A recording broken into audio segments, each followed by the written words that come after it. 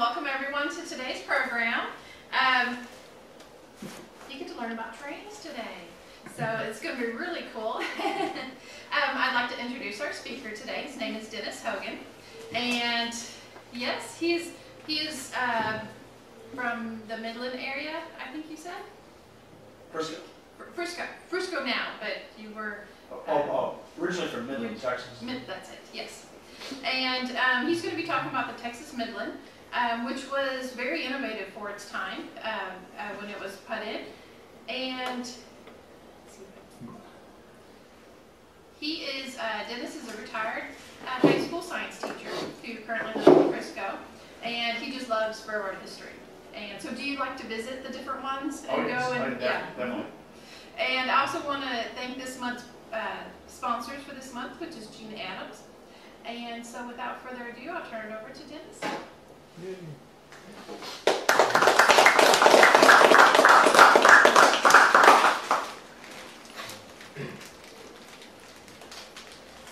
Don't forget to turn on your mic. Should be on. Oh, it is.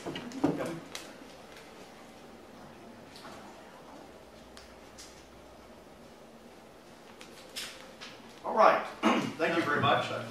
I, I- It's not on. it's not on, okay. Green light's on.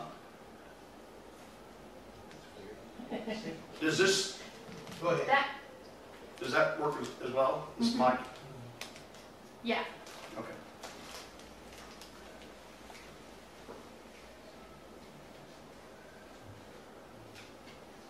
All right, thank, well, thank you for this opportunity to be here. Uh, I was telling Susan, this is the uh, second time I've been here in the past year. I was here in uh, last August when uh, I think it was the uh, World War II Roundtable Group had one of their uh, first meetings. So it gave me an opportunity to see the museum, and, uh, and today is another opportunity. so, uh, um,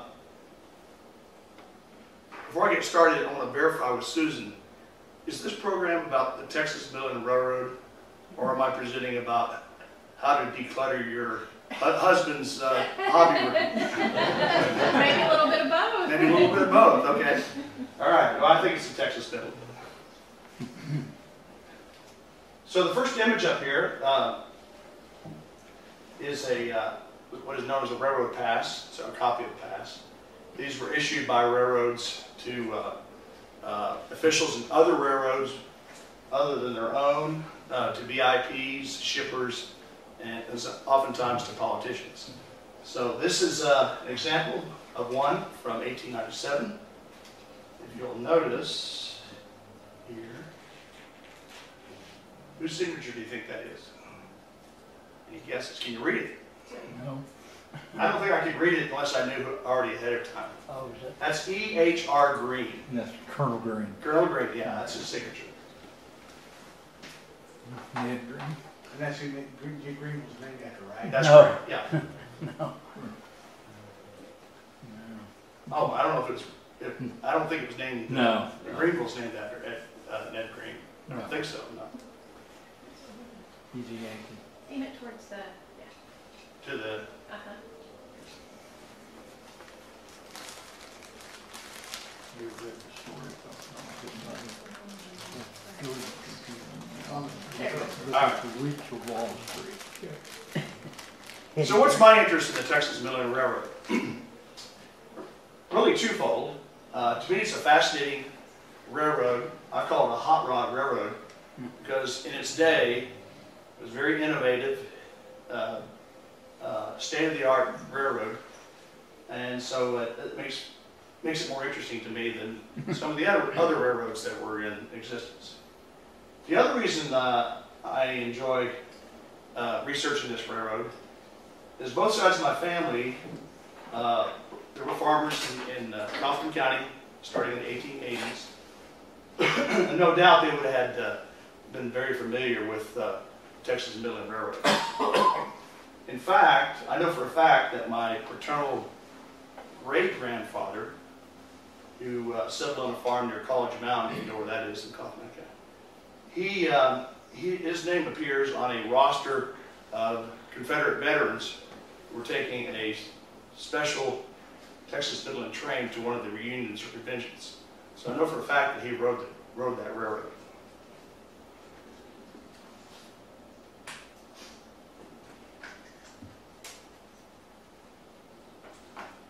All right, oddly enough, the name Texas Midland didn't originate with the Texas Midland that we're familiar with around here.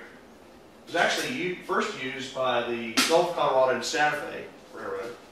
Uh, They used that, uh, that nickname for about a decade or so in the uh, 1880s.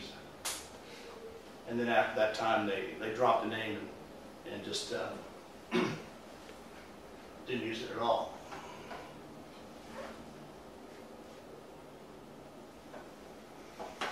The railroad that we now are familiar with as the Texas Midland had its origins in the um, railroad called the Houston and Texas Central. Houston and Texas Central.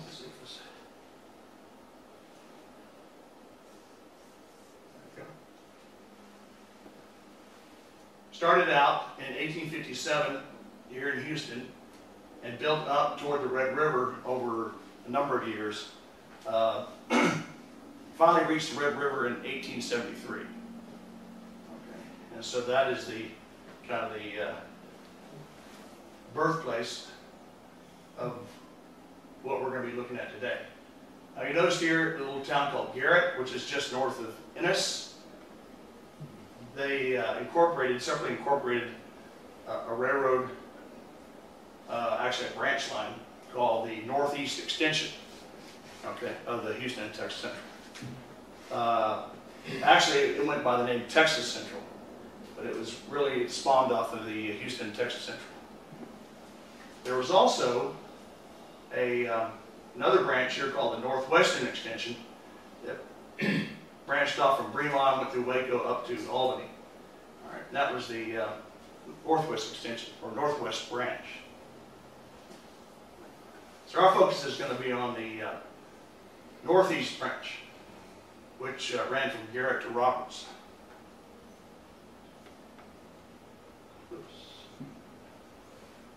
Okay.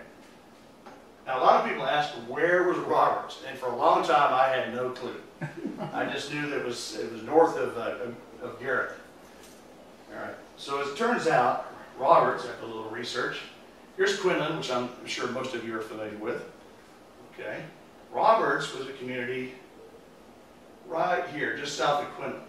And apparently he must have dis- disappeared over time, especially when the Quinlans start, started to grow. All right, so that's as far as the northeast extension of the Texas Central Belt to until about, uh, until the 1890s.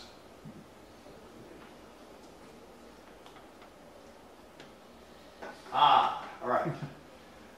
This is going to be a story about a lot of uh, interesting people and places and things. So, uh, enter Henrietta Hetty Robinson, okay? Otherwise known as Hetty, Hetty Green, okay? She was at one time known as the richest woman in America uh, during the Gilded Age. Uh, talking about the, you know, 1880s, 1890s.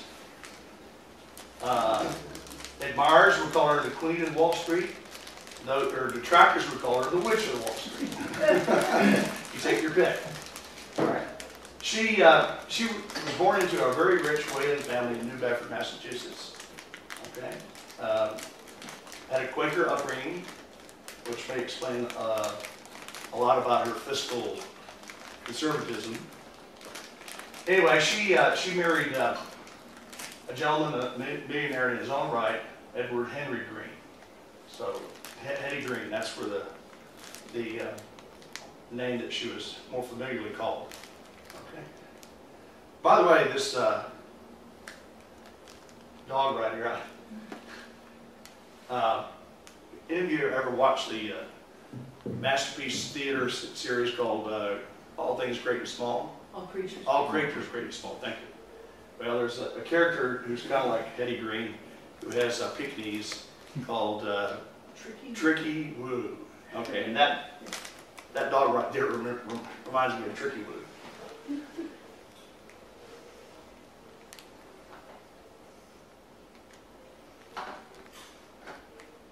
All right, so once uh, Hetty Green uh, made her fortune uh, on Wall Street and so forth, uh, railroads and banks, um, she became rivals with somebody known as C.P. Huntington, who was the president of the Southern Pacific Railroad.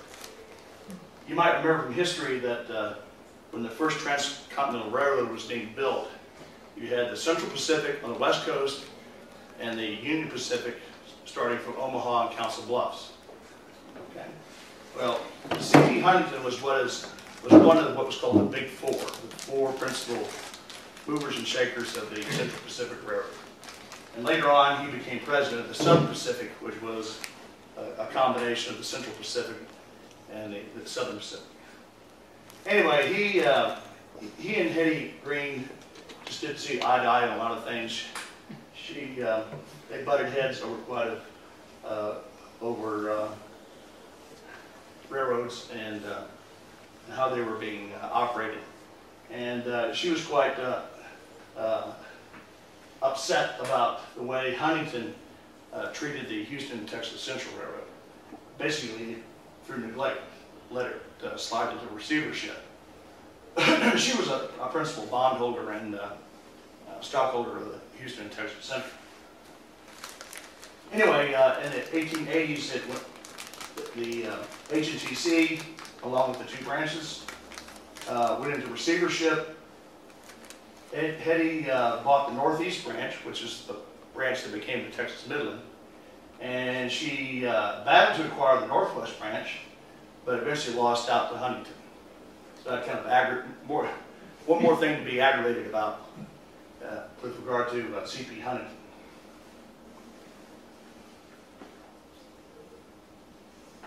All right. There's a lot that can be said about Hetty Green. If you're interested sometime, there are three uh, good reference books that I uh, displayed the covers of up here. The one in the middle, the, the day they shook the plum tree, probably was the first really good uh, biography to come out. It came out in 1963. Um, the other two books are more recent. You can probably find those on Amazon. But anyway, if you have an interest in uh, reading about her life, uh, these are three good references.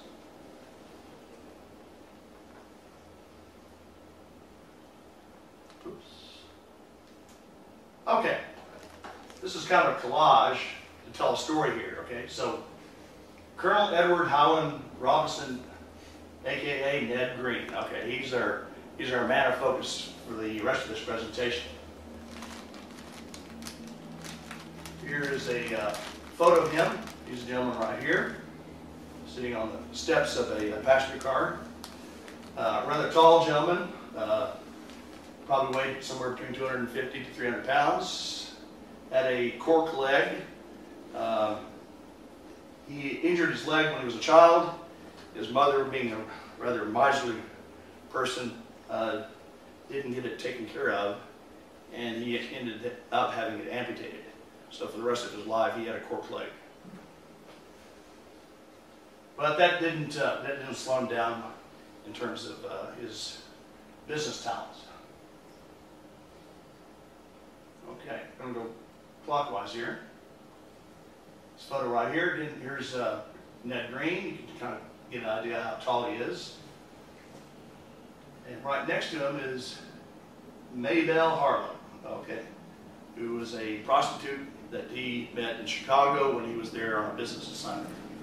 And once he came to Texas, he brought her down, and he was basically, she was basically his living girlfriend for the remainder of his, uh, his uh, stay in Texas. On in life, he married her, but uh, Hetty didn't uh, approve of that relationship, so they didn't get married until after she died. Down here, uh, one of the things that uh, Colonel Green is noted for was introducing the first, or one of the first automobiles into the state of Texas. Um, This was delivered from the St. St. Louis Car Company by rail to Dallas, and then uh, associate of his, who's in the driver's seat there, uh, delivered it to him in Terrell. Okay, so that's not Ned Green there in the, uh, in the car. All right, what's the postage stamp doing here? Yeah. Uh, Ned Green was had many hobbies and uh, interests, one of which was stamp collecting. And um, this is a famous stamp, if you're a philatelist, uh, um, called the uh, inverted Jenny stamp. Okay? Uh, Jenny there is, is the type of aircraft, it was a training type aircraft that was developed by the United States during World War I. It was never used in combat, but it was used as a trainer. Anyway, the postal, post office department printed a whole sheet of these with the plane upside down. And so, once that was discovered, it became an instant collector's item. Okay, and uh, turns out that Ned Green, when he found out about it, bought the entire sheet of inverted Jenny stamps. Okay, and he uh, kept most of them, he parceled some out to friends and so forth. Uh, If you go to the Postal Museum in Washington DC today, which is right across the street from Union Station, they have a postal museum there. Uh, This stamp or a sheet of that stamp is on- display. Ned was also a uh, radio uh, hobbyist. He set up his own radio station and uh, operated it. I think uh, the station later became WMAF. That would be, that would be in Massachusetts, not here in Texas. And then, uh, final thing up here, this is something I just recently learned about. He uh, founded what was known as the Tarpon Club down off uh, St. Joseph Island near, near uh, Aransas Pass. Okay, it was an exclusive club of, for sportsmen, okay? Had a very exclusive clientele of railroad officials, politicians, and, uh, and businessmen. Um, and so he operated that for a few years. Uh, and then it, it uh, closed down, I think, in the early 1900s. It didn't last too long. Now, this is not to be confused with the Tarpon Inn. There's a, an, another place that still exists down there uh, called the Tarpon Inn, which is quite famous as well. But this was uh, di- a different uh, uh, hotel.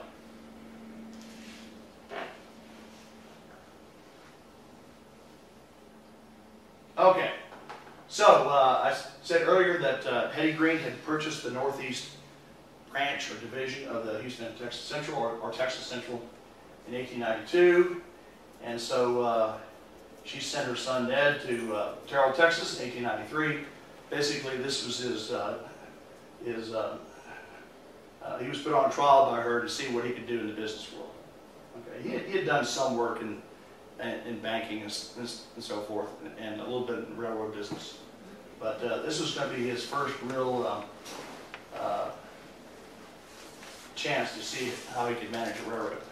So he came down here in 1893. I think he, uh, the story goes, he walked into a Terrell Bank with uh, cashier's check of a half million dollars. They were just completely blown away by that. Had to verify really who he was, but once they realized who he was, they gladly took his money. Um, so uh, he became, he lived in Terrell for quite a while. Uh, eventually, he moved to Dallas. Uh, the social climate in, in, in Terrell, especially with his girlfriend, uh, wasn't too welcoming. So he, he moved some of it. He moved his uh, uh, his uh, headquarters to, to Dallas. All right. So what did he do once he took over the railroad? Well, he he he brought in heavy rail, got some new locomotives, better ballast, and uh, improved basically the infrastructure of the railroad. Was what his uh, first measures were. And he also extended the line to Paris, okay, from Roberts. Roberts was kind of like a station in the middle of nowhere. It just there was nothing going on in Roberts to to warrant being the terminus of the railroad. There's a quote here that kind of kind of uh, summarizes his uh, his uh, philosophy on taking over this railroad. He wanted the best uh, in his uh, in his business, and uh, expected that would pay off eventually to, if he uh, if he produced a, a quality uh, running railroad.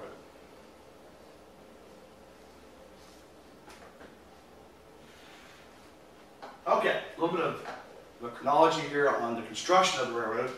So, as I said, it started out as, uh, as this kind of semi-independent railroad, part of the Houston and Texas Central, simply known as the Texas Central Northeast Extension. So 1882, it built from Garrett to Terrell, and then in 1884, it went from Terrell to Roberts. Okay, and, and those two construction uh, dates are before Ned uh, Green came into the picture. All right, so once he got into the picture in 1893, started to expand the railroad and extended Roberts to Greenville, 1895, under the new charter of the Texas, or new, new name, Texas Midland. Uh, 1896, 97, Greenville to Paris.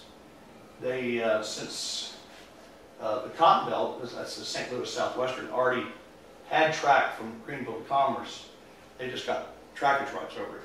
Okay, saves them a little bit of money, at least in construction. And then 1898, uh, Midland Junction to Ennis. Okay, so they, that, that little section of railroad there was intended to bring the railroad directly into Ennis. And I'll show you the map here in just a minute. In 1923, they finally got around to uh, building their own railroad between Commerce and Greenville, rather than, that- rather than relying on trackage rights over the Cotton Belt. So, so now they had a completely owned railroad all the way from Ennis to uh, Paris. Okay. Entirely Texas Midland owned and operated. All right, so at its, at its peak, Texas Midland covered 125 miles.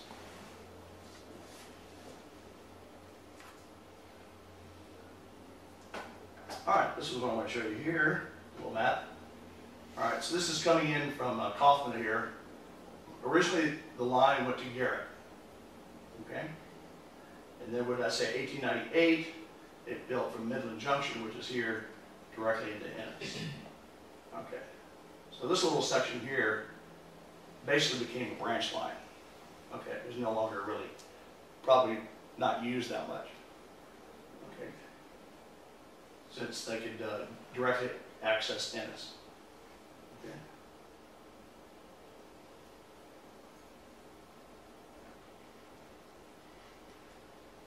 Oops. A little bit more detailed map of, uh, of railroads east of Dallas. Here's Greenville. Okay, Paris is up here. Ennis is, where's Kaufman? Ennis is down here. Okay. So Texas Midland went all the way up, up there. Okay. Now Greenville was, was quite a hub of railroads, uh, in its own right. You had, you had the Texas Midland. You also had the, uh, Missouri, Kansas, Texas, also known as the Katy. And Katy had like five different, five different directions you could go out of Greenville on the Katy Railroad. You could go uh, north to uh, Denison. You could go south or southwest to Ennis, excuse me, to Dallas. You could go east to Jefferson and eventually to Shreveport. You could go west to Farmersville and McKinney. And then uh, the last segment of the Katy Railroad out of Greenville was uh, southeast of here to Mineola. If you ever drive that highway, I think it's 69, isn't it? Yeah. Down to Emory, that, that, that uh, branch line paralleled basically Highway 69. Or I should say Highway 69 paralleled the- the railroad since it was there first.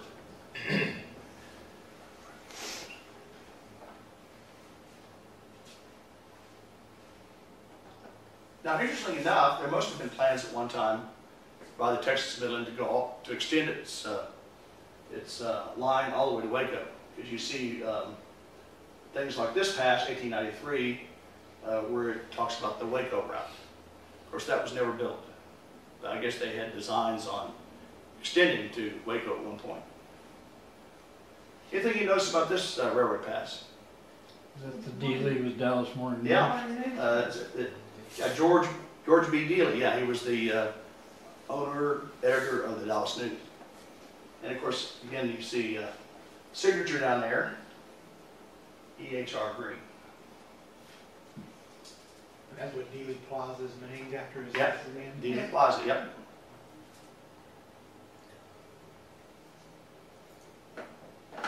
This is a cover from a book uh, that came out a few years ago.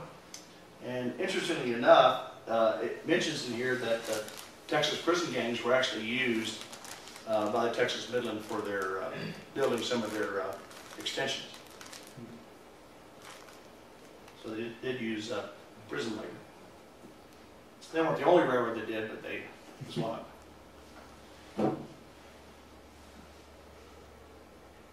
Okay, list of stations. We'll start with Ennis, and we're gonna work north.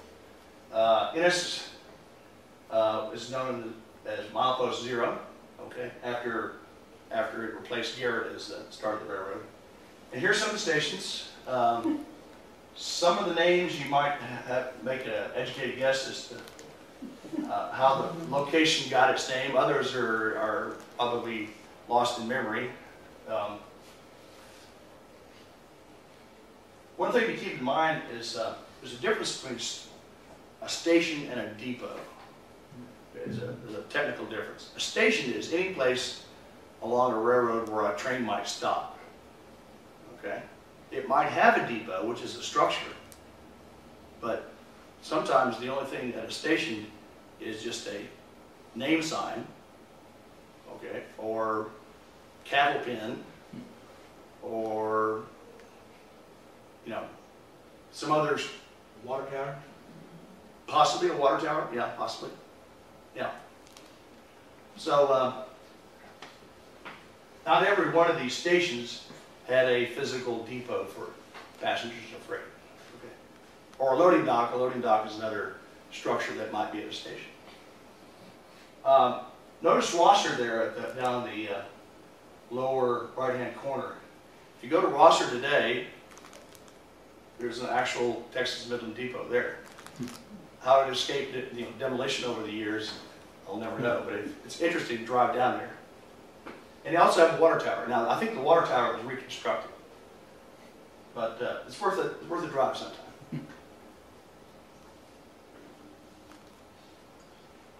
you're looking for an excuse for a, for a road trip. All right, part two is continuing on north. Of course, the next big town really after uh, Ennis would be Kaufman. And then Terrell, which was the headquarters of the railroad. Even the state hospital in Terrell had, a- had its own station at one time. Probably for, you know, delivery of supplies, you know, for the hospital. Railroads on that side. Hetty, of course, I guess there's no, uh, no uh, doubt about where that name came from. And then, of course, Roberts, which was originally the terminus of the railroad for a number of years. All right, moving on, of course, we know, we know from the map I showed earlier that Roberts was just, just south of Quinlan. So, uh, in Harlow, of course, Harlow Mabel, I'm sure that's where that name came from. Greenville, milepost 72. And then Commerce. Uh, Commerce still has its uh, Texas Midland Freight Depot. You go up there today. There's a, a brick structure, which is, is the freight depot. Passenger depot is gone. Freight depot exists. And then um, Cooper, uh, or somebody said, had another way to say that. Cooper, uh, different pronunciation. Anyway, Cooper has its uh, Texas Midland Depot. It's the Delta County uh, Historical Museum. Yeah.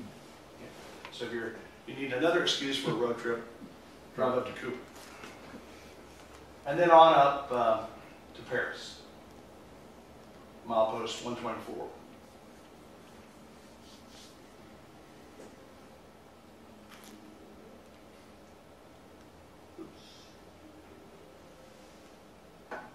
All right, here's an example of, of one of the uh, more modern steam locomotives that uh, Ned Green purchased once he took over the railroad.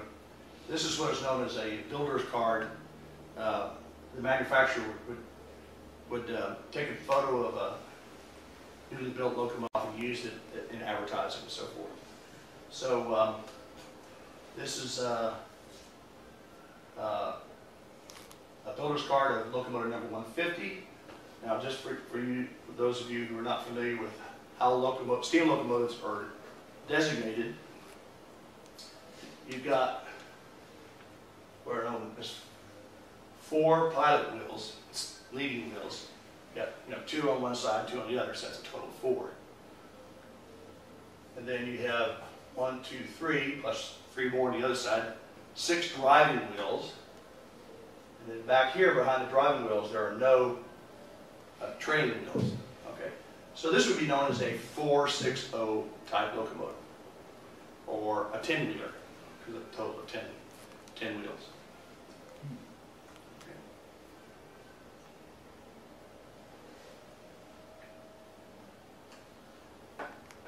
All right, so very briefly, I'm going to kind of enumerate or list here the locomotives that Texas Midland either inherited or bought new.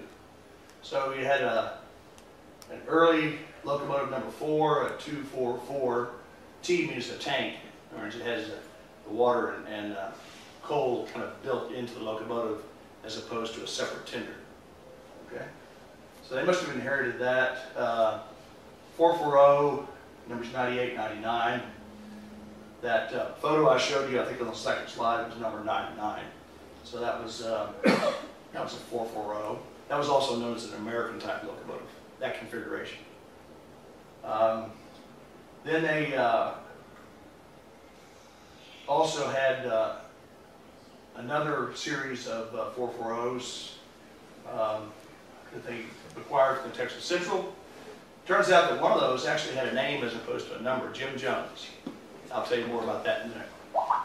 Um, and number 109 was uh, built after, um, or came to the railroad after or Ned Green took over. Uh, it also had a name, Dick Farmer.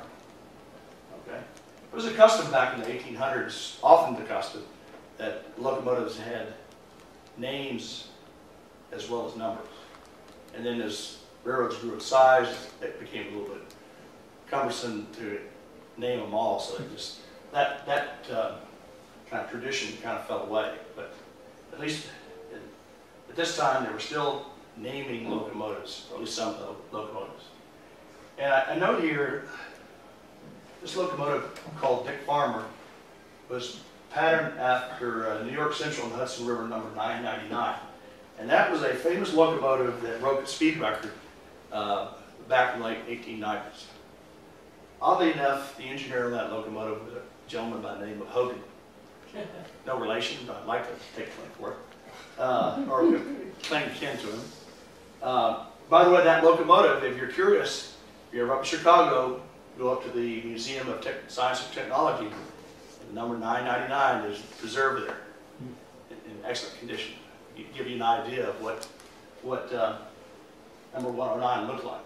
How fast did it go? Uh, over 100 miles an hour. Yeah. yeah. Yeah. I forget the exact, it was over 100.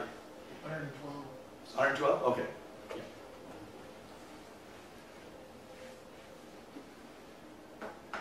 All right, we get some more, um, more modern locomotives after uh, uh, Colonel Green took over the railroad. He had 460s, those were called 10 wheelers. Um, in uh, one series there, 110 to 116. Another batch of 460s, 1897.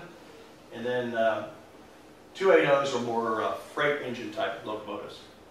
Okay, so that was number 200 and 201. Interesting enough, number 200, ex-Texas Midland Railroad locomotive exists today down in Baytown, Texas.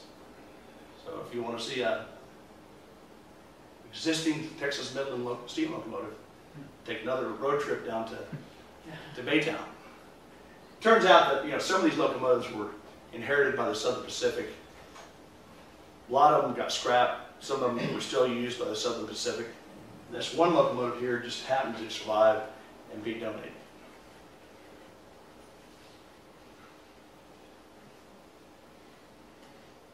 All right, here's Jim Jones. Right here under the cab window is, is the name Jim Jones. And, and of course, uh, instead of saying Texas Midland, it says Midland Route. So you can see one of the two uh, descriptions on the tender, either Midland, Texas, Midland Route or Texas Midland. Some speculation as to why it's called Jim Jones. This I get from one of the docents or directors of the Terrell Heritage Museum. He claims, and he hasn't really, you know, verified this, that Jim Jones was a Union Navy vet who settled in Able Springs, Texas, you know where Able Springs is, and uh, worked for the railroad. Somehow or another, he managed to get the distinction of having a locomotive named after. him. I don't know if he saved a saved a child, or you know, or saved the railroad money, or what what uh, he did to uh, warrant having a locomotive named after. him. Dick Farmer, that, that was the other named locomotive that I mentioned earlier, found out that he was an engineer. So he also must have done something to uh, warrant uh, having a locomotive named after. him. The rest of the locomotives just had numbers. This is prob, this, this shot was probably taken at the Terrell shops, by the way. All right, so there's some schedules here, okay. So the Texas Central was kind of an offshoot of the Houston Texas Central. Uh, Here is the schedule for the Northwestern branch from uh, Ross, which is near Waco, all the way out to Albany. And then here's the one of interest here, from Garrett out to Roberts. Okay, It just shows one mixed train a day in 1889.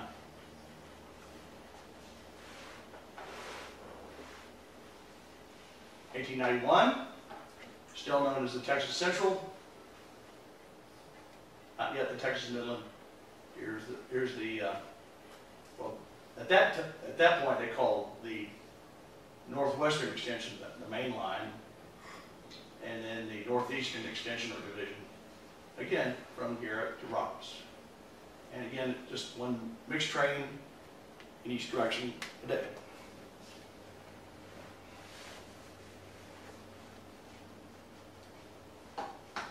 1896. Now, now we're un, under the uh, Texas Midland name and the uh, Ned Green uh. A little bit more activity here. Of course, the Paris to Terrell, this, this section of the uh, schedule. Three trains a day, two passenger, one mixed. And for those of you who are not familiar, a mixed train is a train that has both passenger and freight cars. Here, Terrell to um, Ennis. Again, the same, same three trains. Two passenger, one next train. And of course, at at Ennis, they connected with the Houston, Texas, Houston and Texas Central. So you could go on down to uh, Houston and Galveston.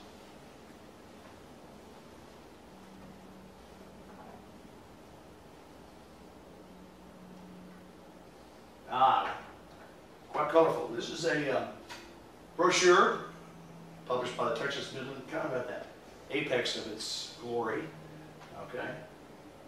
Uh, they ran a crack train called Lone Star Special.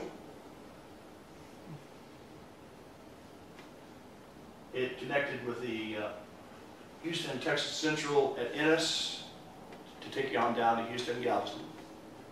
At Paris, it would connect you with the Frisco Railroad take you up to uh, uh, Arkansas and Missouri and on to St. Louis.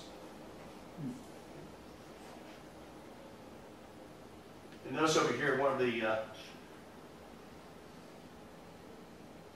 promotions or places to uh, visit is the uh, Crescent Hotel in, in um, Eureka Springs, uh, Arkansas.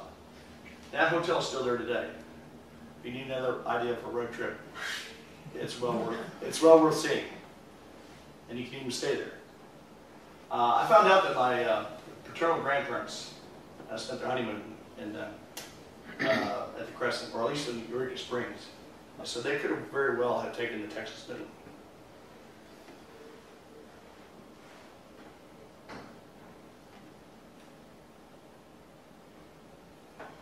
All right, uh, Trade Journal here had an, ran an article in 1901 talking about the modernized uh, passenger cars that were uh, rebuilt and modernized. Oddly enough, the uh, paint scheme was, yes, green. All right, um, and then the, uh, the complete train set included baggage, of course, mail and express, chair car, uh, a day coach. Chair car was a little bit more comfortable uh, accommodation than a, than a, uh, coach? Uh, probably had reclining seats, whereas a coach probably just had stiff, uh, uh, wooden bench type seats. And a cafe car, and of course, the lighting, interior lighting was done by acetylene gas.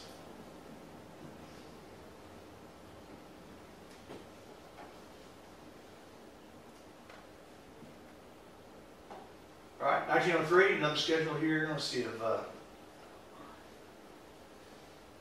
a little bit out of focus here, but it mentions the Lone Star special here.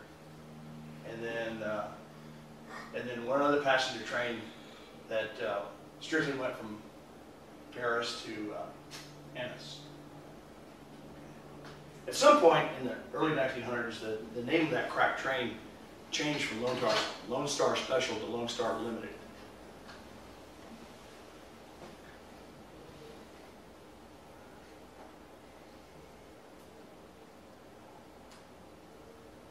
Here's a, another handout, brochure uh, showing the, uh, this is the, this is the, uh, looks like the interior of that Pullman observation. It had a lounge area, uh, and it there would be a a vestibule out here, you know, you can walk out and see the scenery and so forth, enjoy the fresh air. And then back, back the other way would be This, and so forth for for the sleeping car is that the kind of car that's down at the Terrell City Park? No. no. Okay, okay, There's a story behind that. All right, Okay. All right, all right, we'll come back. there, there are people that wish it was, but, Oh, It's not. okay. all right.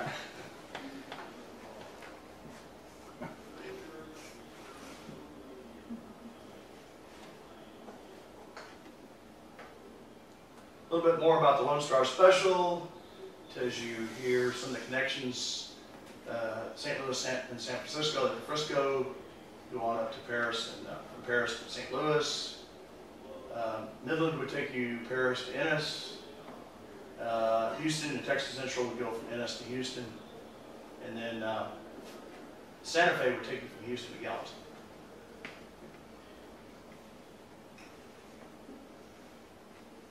And they had uh, accommodations, had reclining chair uh, cars and reclining, yeah, same thing. Okay, as well as uh, a Pullman observation sleeper. And here's the schedule over here. Basically, you know, for, for long distance, the uh, Texas Midland was kind of, no pun intended, the middleman uh, between coming down from St. Louis and going all the way to Houston and Galveston.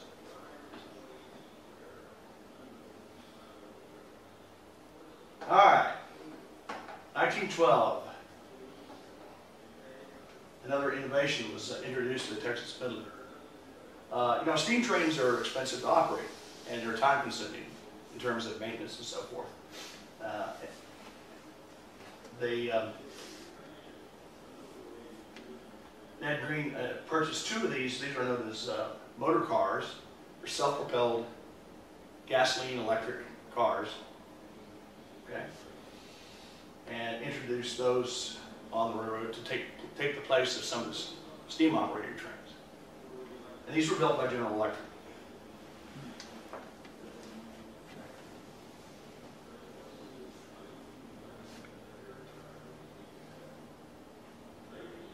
And here's a, an article in one of the uh, trade journals of the time, 1913, uh, basically extolling the advantages of having motor cars as, as opposed to a conventional steam train. This Mr. F.B. McKay, he was one of the uh, uh, managers of the uh, Texas Midland. So he's being uh, quoted here, in praise of the motor cars. One good thing about Ned Green, or another good thing about Ned Green, is he hired competent managers to, to take up to operate his. So even when he was away, uh, they could run things pretty much to his satisfaction.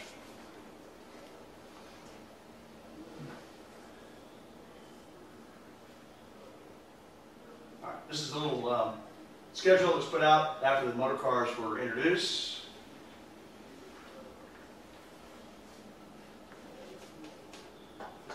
All right, so once the motor cars were introduced, then you had, uh,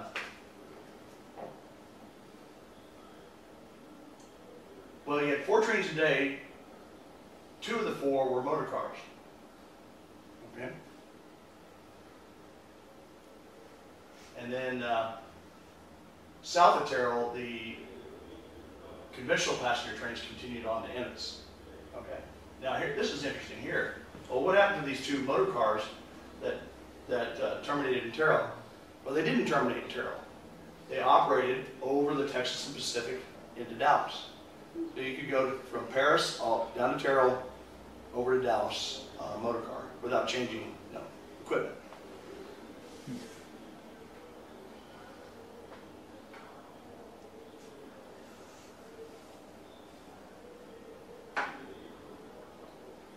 A few years later, um, again, they seem to be using the motor cars more, more often. Uh, although there's not two trips here, there's just one trip a day. Again, again Paris to Terrell, and then over the Texas Pacific from Terrell to Dallas. And then um, I guess they, they use the other motor car over here to replace the, the steam operated train down to Ennis. So it looks like the uh, motor cars were taken over. The, um, the motor cars didn't pull ca- cars behind them, did they? They could, but it, I don't, I have uh, no evidence that the Texas Midland used it. But know, on other railroads, they would have a trailing coach behind the motor car, just depending on the terrain and, and how powerful the motor car was.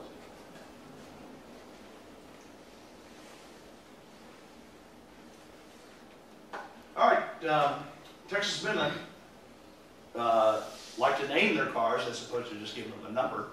So here are the names of uh, the um, regular passenger cars on the Texas Midland. Two of which named after uh, places, Cooper and Terrell. Those were cafe cars. Uh, the rest of them, oh, there's a Greenville down there. Okay. You might search the neighborhood to see if some farmer got that, put it on his farm as a, as a you know, for storage or something. Um, some of them have, kind of exotic names.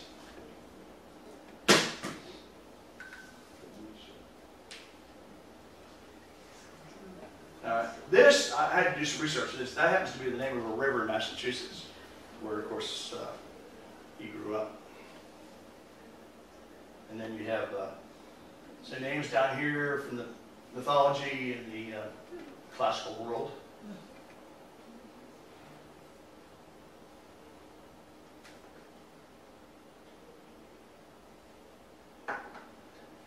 Fortunately, we have a picture of these, one of those cars, the, uh, the Cooper. Uh, I guess he took it off of home rails, uh, down, down along the Gulf Coast one time. And, uh, here's a photo of it.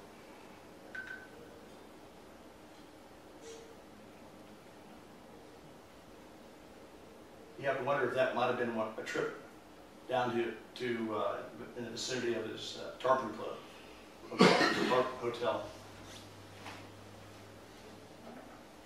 This may be a dumb question, but what, what exactly is a cafe car? Was that for It's- dining? It's a di- Dining. Yeah, dine car, yeah.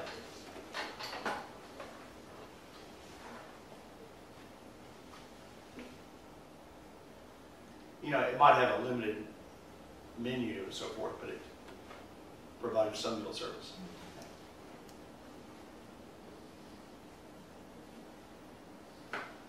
All right, here's um, a picture of Ned Green's private car or business car. Uh, over the course of time, it had many names or number. I-99, Mabel, Lone Star, there's another name that pops up, and we have to wonder if it was a, the same car or maybe another business car. was also a Paris, um, a, a, a private car named Paris. So, uh, don't know if this, if that was the fourth name for the same car or whether he actually had uh, two, two business cars.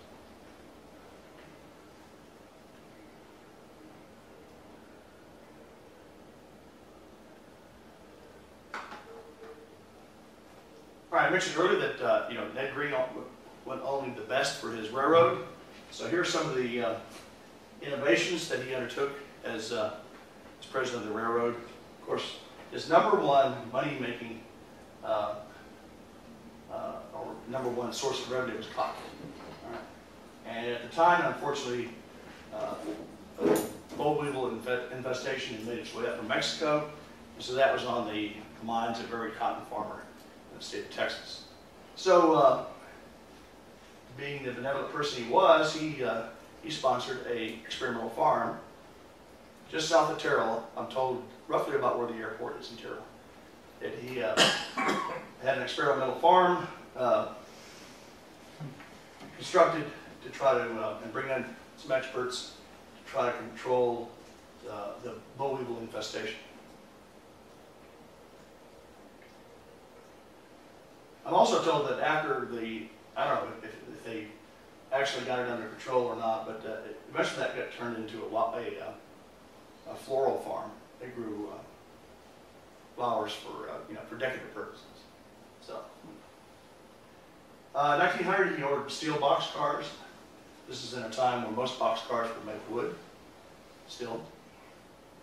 Electric headlights on locomotives, that was an innovation. Uh, the cafe lounge car and Pullman sleepers that were mentioned earlier on the Lone Star Special. Those were, um, those were perks. Okay. Faster steam locomotives.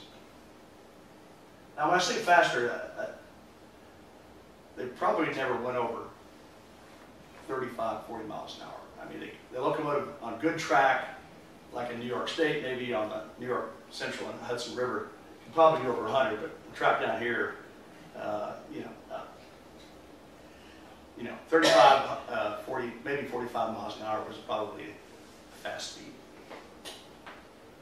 And then uh, he also used uh, what's called burnt gumbo as ballast. That's uh, the under material on which you put the ties and so forth. You know, many railroads back then simply laid ties down on bare ground and laid rail on top of that, and that was that. So you were really improving things if you uh, had some kind of a material, either rocks or burnt gumbo ballast, to uh, stabilize that road bed. What pray tell is burnt gumbo? Burnt gumbo, not to be confused with Louisiana gumbo. Um, It is a mixture of clay and the black, you know, soil, you know, that black lime soil that you find around. And it's heated, somehow heated, and it produces a very stable uh, material. Uh, if, if you're ever interested in reading up on this, maybe I should have did that. Uh, if you go, if you Google Josephine, Texas, okay, which is not too far from here, is it? All right. They had a series of pits just north of the town where they made this burnt gumbo. They did it for the Cotton Belt Railroad.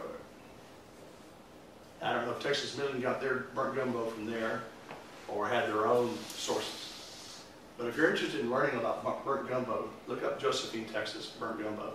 You know, Google that, and uh, it might provide you some more information. So. In fact, if you, if you look at topographical today, you'll see some uh, of Josephine. You'll see some like lakes or lagoons north of town, which is where that that material was uh, dug up and, and processed.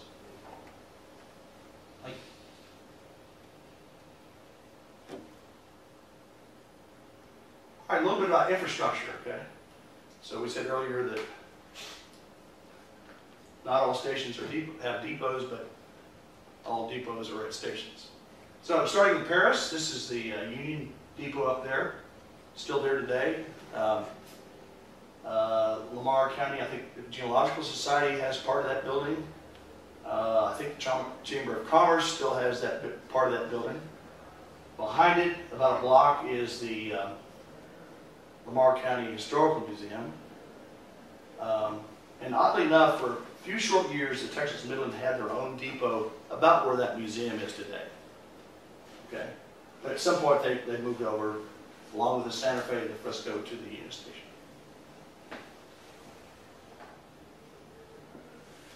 Commerce had a very almost mansion-looking depot at one time. The Midland goes, uh, veers off to the left, and then the, the train you see there is a Cotton Belt train. Now, that was replaced at some point by a much, or I should say, a less elegant-looking depot, which I think burned, I don't know, sometime in the eighties or nineties.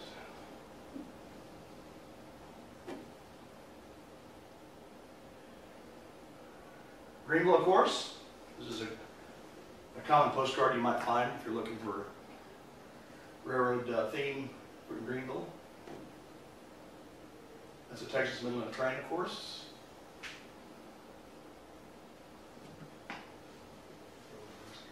I'm guessing, well, I'm not sure if that's, if that's headed north or south, I really don't know. But, this is the same depot. in Greenville. Interestingly enough, there is, I don't know if you're familiar with this or not, but the, the public library here has a collection of photos from the turn of the century, 1890s, early 1900s. It's called the Eddie Daniels Collection. I don't know if that's the name of the photographer or the person who donated the, the, the pictures. But anyway, I'll show you a website in a minute. You can, you can check it out. That's the uh, original, or, or at least one of the early uh, Union stations here in Green- Greenville, Texas. Served Cotton Belt trains and Texas Midland trains. Katy had its own depot, other side of town.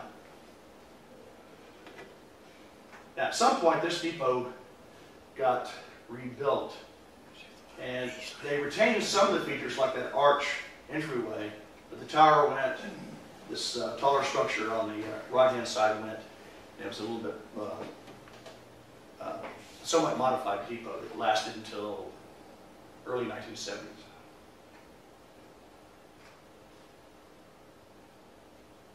This is the best picture on the Texas Midland that I've found.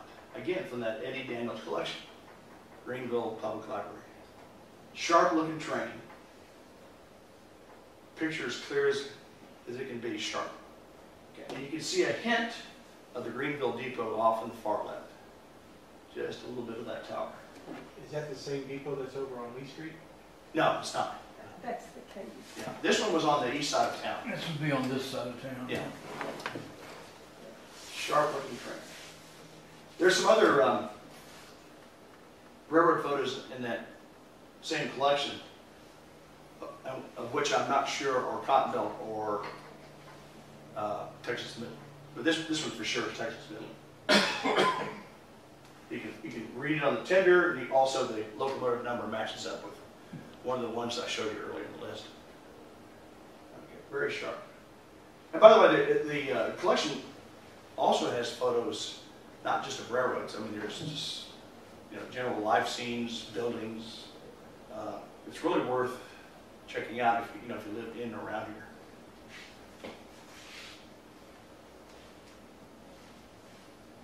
Terrell, that also had a fine looking depot, kind of a witch's hat tower there.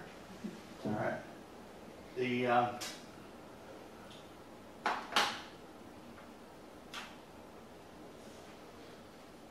This is the middle right here. And then from right to left would be the Texas Pacific. Okay. And this depot lasted uh, up until early 60s sometime, maybe around 63. Unfortunately, got torn down. Would have been a nice, uh, nice edifice to have preserved.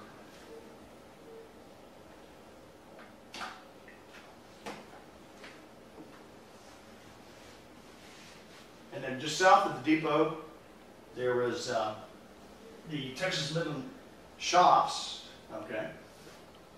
Car shops, locomotive sho- shops. Keen eye, maybe if you got real close, you could see the kind of witch's hat tower of the Terrell Union Station.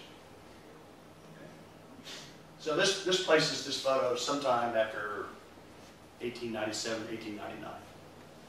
Uh, Now, Texas Midland at one time had their own two-story depot that was back toward the shops, and then it got replaced with the Union Depot that I showed you in the previous slide. I went to this location probably 30 years ago, and there was, you know, try to find where it was, and there was a big uh, junk heap uh, south of town, which I'm pretty sure was the, was the uh, site of the shops. Um, Once Southern Pacific took over the Texas Midland, they basically tore these down.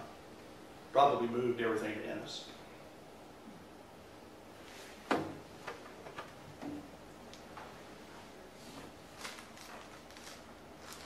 Oops. Okay. And then Ennis, of course, was the uh, southern terminus of the Texas Midland. They, uh, they actually had their own depot, depot for a while, uh, about two streets over from this one here, which is the Houston Texas Central or Southern Pacific Depot. Okay. It was a, since it was a division headquarters, they had a very large uh, depot there for offices and so forth. This burned, I think, sometime about 1935. And so this structure, which is still there, and which is their cultural and railroad heritage museum, was at one time the uh, Van Noy restaurant. Van Noy was kind of a uh, food vendor, kind of like Fred Harvey was, maybe not as good. Okay. So they moved the, the uh, passenger depot operations to this structure until the end of uh, passenger service, which was 1958.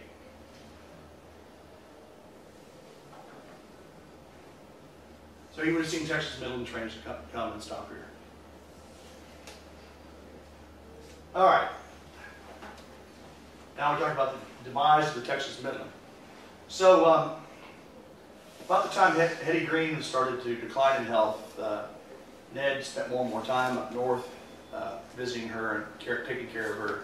She died in 1916, and so uh, after about that time, uh, he would come to Texas maybe two or three times a year in his, in his private car. Okay. Basically left operations to, to his managers. Okay, now around 1928, uh, the railroad was purchased by the Southern Pacific, or the Texas and New Orleans, as they called the uh, uh, railroad in the state of Texas and Louisiana. And then it was uh, it was abandoned in pieces. First, in 1942, there was a big flood in the Trinity, wiped out the bridge, and so rather than rebuild it, Southern Pacific said, "We're just going to abandon it." You know, Ennis to Kaufman.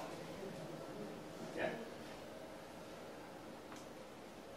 They still maintained, uh, you know, uh, passenger service. They had, they also had a motor car, and that's what they used on the. Uh, uh, that's what Southern Pacific used on the uh, rest of the line. Then from uh, 1958, they abandoned Kaufman to Greenville. Not exactly sure what the reason for that abandonment was. I don't know if it was lack of business or, or what, but that's, um, so, uh, Terrell, which was once its headquarters, was now no longer on the original Texas Midland. And then sometime in the early 1970s, there were washouts up, uh, I think mainly north of Commerce up to Paris that wiped out a lot of the rail.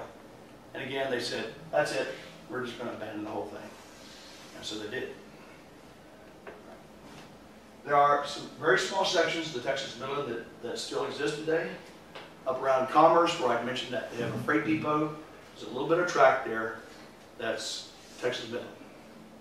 And then if you go um, in Terrell, Union Pacific has a, a, a spur that goes down by the airport. That was also at least on the same right-of-way as the Texas Midland. So those are the only two bits of uh, Texas Midland track that are still in existence that I know of.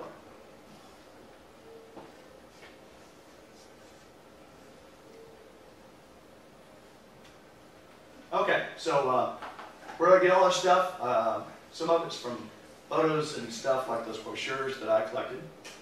Terrell Public Library also has uh, a limited number of photos of from the Texas Midland, or of the Texas Midland. The Terrell Heritage Museum, also same thing. Um, They uh, also produce a replica of a uh, Kaufman County brochure that was published to promote the county back then. And it has um, uh, some Texas Midland photos.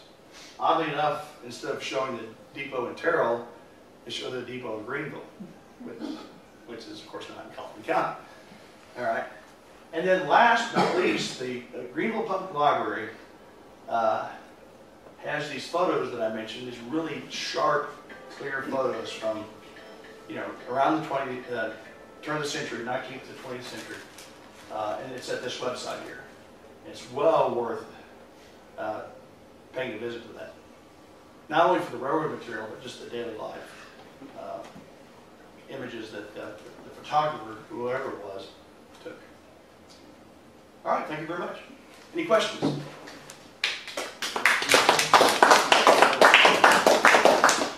If I'm not mistaken, World War II, they ran a spur out to Majors Field off of, Oh, okay, and okay. that's where the fairgrounds is now. Okay. That's where They the had a spur, out okay, that makes sense. Yeah. Yes, yes Do you ma'am. have any idea what the cost to ride the train was? Uh, I can just give, I can give you a general estimate, just pennies per mile, back, you know, back in, um, probably nineteen hundred. I Yeah, it just might, wondered might, how- it might cost you, I don't know, uh, twenty-five cents to go from Greenville to Terrell. I just, that was just a wonder. I- Yeah, I, I, uh, I can research that for you. Well, send me a note when I get back to Minnesota and let me. Oh, sure. I- Okay, I, I can send you a note anywhere. No, I- I'm joking, but I just wondered back in those, that time of, uh, of what. Yeah, uh, I mean, correct me if I'm wrong, but I think, you know, generally was like pennies per mile. You know, two or three cents a mile. That's not part of the, uh, train schedule then? The rate? Sometimes they quote uh, fares, sometimes they don't. Okay, and- and the ones I had here, I didn't, I didn't have any fares, uh, attached to the, to the material. So I could probably find, find it in my dig hard enough. I like digging stuff. Yes, yes, sir. I've been told, I haven't verified it, that the last trip Texas Midland made from Greenville to Kaufman, it crosses Highway thirty-four back to side of Cash, and a gentleman that lived in that area with no signals, just signs, Right, it ran over him and killed him. Oh. Bob Green. Bob, Gr- okay, yeah, you mentioned that earlier, yeah, so very unfortunate. Oh. Yeah, this railroad would have had no signals whatsoever, it was not, not that sophisticated a railroad to, to, to warrant signals. Do you have a question? Oh, I think, okay, anybody else? All right, thank you very much. Thank you. Awesome, thank you very much for that. Um, let's see, before you guys go, next month's program is gonna be Gary Woodall. Uh, he's going to be talking about his night sky photography, which is a temporary exhibit we will also be having, um, out on display all the time for the eclipse that's coming through. And, um, we have Easter After Dark is coming up on March twenty-second. And then on April sixth, we, we are doing a Space Day, per, uh, activities and events for the kids and families out here as part of the whole week of that eclipse activities. So enjoy and have a great uh, rest of your day.